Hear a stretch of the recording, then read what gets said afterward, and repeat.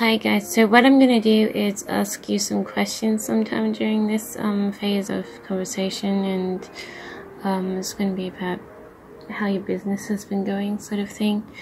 Um, but I'm gonna take my time to do it.